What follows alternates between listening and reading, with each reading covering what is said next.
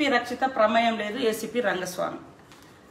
తన కుటుంబానికి అవమానం జరిగిందంటూ ములుగు ఎమ్మెల్యే సీతక్క పెట్టిన పోస్టుపై ఏసీపీ రంగస్వామి స్పందించారు. ఈ విషయంలో డీసీపీ రక్షిత మూర్తికి ఎలాంటి సంబంధం లేదని పేర్కొన్నారు. వాస్తవానికి ఆ వాహనం హైదరాబాద్ నుంచి ములుక్కు వెళ్తుండగా పోలీసులు తనిఖీ చేశారని ఈ పాస్ లేకపోవడంతో జరిగిన జరిమానా విధించారని చెప్పారు. ఈ విషయంలో డీసీపీ రక్షిత అక్కడ పర్యవేక్షణలో ఉన్నారని కానీ సీతక్క కుటుంబ సభ్యులతో మాట్లాడలేదని ఆయన పేర్కొన్నారు.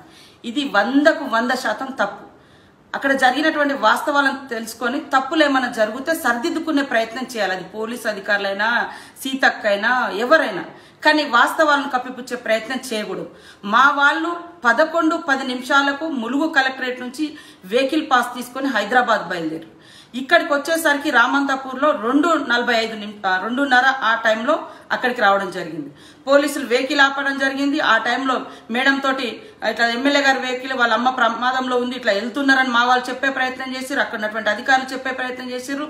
కింది స్థాయి అధికారులు ఆమె పట్టించుకోలేదు. నేను ఫోన్లో మాట్లాడే ప్రయత్నం చేసినా ఆమె తీసుకోలేదు. లాస్ట్కి వీడియో కాల్లో మాట్లాడతామన్నా కూడా ఆమె రాలేదు. ఇది వాస్తవం. నల్లపోచమ్మ గుడి దగ్గర. కానీ ఆమె మాట్లాడలేదు అసలు తనిఖీ చేయలేదు ఆపలేదు ఇట్లాంటి అబద్ధాలు చెప్పి ప్రజల యొక్క మనోస్థైర్యాన్ని దెబ్బతీయకూడదు. వాస్తవానికి నేను అక్కడ ప్రత్యక్ష సాక్షి వీడియో ప్రత్యక్ష సాక్షి. దయచేసి పోలీస్ అధికారులు అంటే మాకు గౌరవం ఉంది పోలీసులు అంటే నమ్మకం ఉంది. మానవత్వంతో పని చేయండి మేము కోరినాం తప్ప ఆమె మీద డిసిప్లిన్ యాక్షన్ తీసుకోమని కానీ ఒకటి సాటి మహిళగా ఆమె ఎదుగుతున్న ఒక ఆఫీసర్గా ఓపికతో పనిచేస్తే ఇంకా బాగుంటుందనే విధంగా కావాలని మేము నిన్న దాన్ని బయటికి తీసుకురావడం జరిగింది. కానీ ఇట్లాంటి అబద్ధాలతోటి వాస్తవాలను కప్పిపుచ్చే ప్రయత్నం దయచేసి చేయకూడదని నేను కోరుతాను